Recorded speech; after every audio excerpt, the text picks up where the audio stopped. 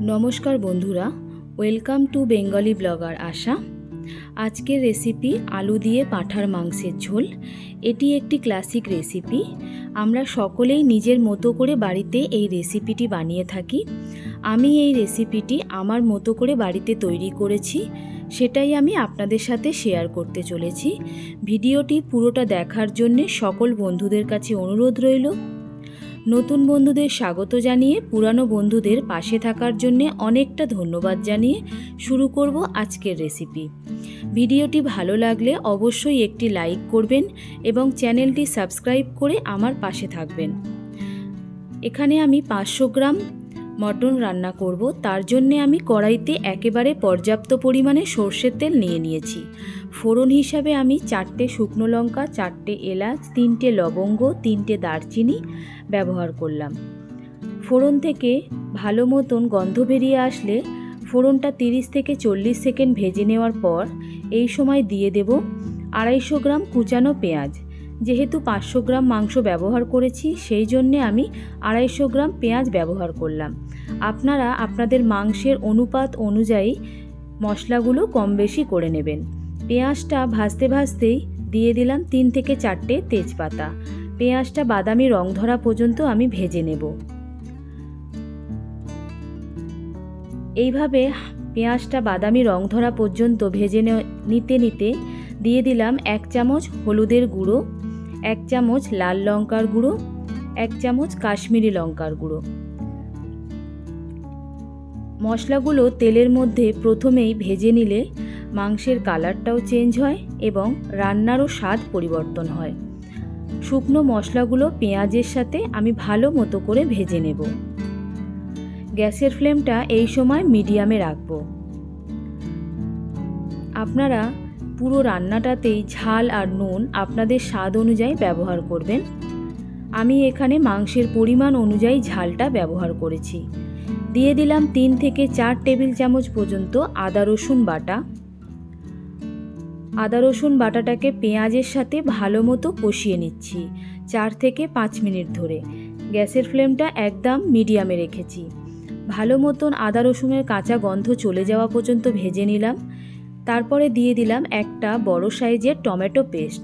টমেটোটাকেও আরও দুই সেকেন্ড মতো ভালো মতো নাড়াচাড়া করে নিচ্ছি।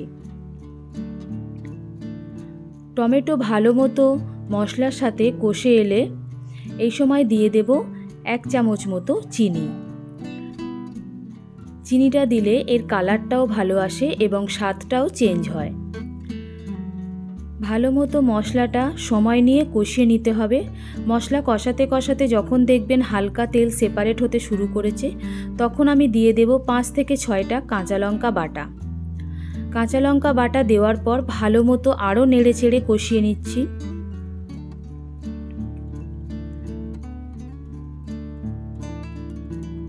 কাঁচা লঙ্কা বাটা কষিয়ে নেওয়ার পর দিয়ে দেব চার টেবিল চামচ মতো টক দই ফেটানো। আগে থেকে টক দইটা আমি ফেটিয়ে রেখেছি।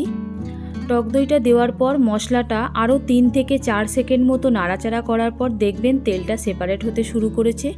তখন দিয়ে দেবো স্বাদ অনুযায়ী নুন আর এক চামচ মতো জিরে গুঁড়ো। আপনারা চাইলে এখানে ধনে গুঁড়ো ব্যবহার করতে পারেন। জিরে গুঁড়োটা দিয়ে ভালো মতো নেড়ে চেড়ে কষিয়ে নিলাম। মশলা থেকে পুরোপুরিভাবে তেল সেপারেট হতে শুরু করলে তখন আমি এর মধ্যে দিয়ে দেব পাঁচশো গ্রাম ভালো করে পরিষ্কার করে ধুয়ে নেওয়া মাংস। আমি মাংসগুলো আগে থেকে গরম জলে ভালো করে ধুয়ে জল ঝরিয়ে রেখেছিলাম।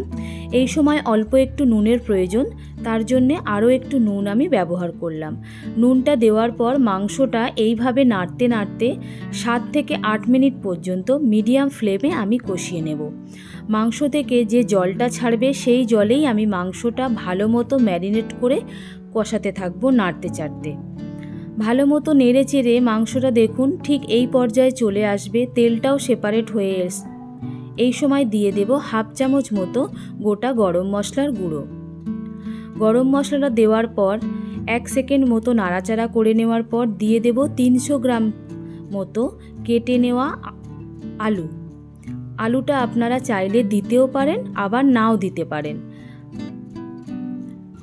আলুটা দেওয়ার পর মাংসর সাথে ভালো মতো কষিয়ে নিচ্ছি।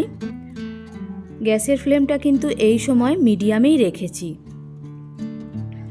মাংসটা দেখুন বেশ ভালো মতো কষানো হয়ে গেছে, তেলটাও ভালো মতো ছেড়ে দিয়েছে। এখন আমি দিয়ে দেব প্রয়োজন মতো গরম জল। আপনারা যতটা গ্রেভি রাখবেন, সেই হিসাবেই গরম জল ব্যবহার করবেন। গরম জলটা দেওয়ার পর ভালো মতো আমি মিশিয়ে নিয়ে এবারে আমি মাংসটা প্রেশার কুকারের মধ্যে ট্রান্সফার করব। আপনাদের হাতে যদি সময় থাকে, তাহলে আপনারা কড়াইতে করতে পারেন। তবে কড়াইতে করতে গেলে মাংসটা আগে থাকতে একটু ম্যারিনেট করে রাখতে হয়। প্রেশার কুকারে রান্না করলে মাংসটা খুব ভালোভাবে সুসেদ্ধ হয়। আমি তিন থেকে চারটে সিটি দিয়ে নিলাম। তারপরে প্রেশার কুকারটা ঠান্ডা হয়ে যাওয়ার পর ঢাকনাটা খুললাম। দেখুন, আলুগুলো খুব ভালোভাবে সেদ্ধ হয়ে গেছে, মাংসটাও খুব ভালো সেদ্ধ হয়েছে। আমার রেডি হয়ে গেছে আলু দিয়ে পাঁঠার মাংসের ঝোল। এই পাঁঠার মাংসের ঝোলটা একটু পাতলা হয়, খুব একটা ঘন হয় না। আমার এই রেসিপিটা আপনাদের যদি ভালো লেগে থাকে, অবশ্যই আমার চ্যানেলটি সাবস্ক্রাইব করে নেবেন এবং রেসিপিটি একবার হলেও আপনারা বাড়িতে ট্রাই করে দেখবেন। আজকের মতো তাহলে এই পর্যন্তই। সবাই ভালো থাকবেন, সুস্থ থাকবেন। আবার দেখা হবে নতুন কোনো রেসিপি নিয়ে।